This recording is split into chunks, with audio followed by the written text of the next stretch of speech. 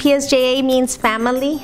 My daughters are ready to go to school every day. They are happy. The community, the teachers, everybody is just so involved into making them succeed in life.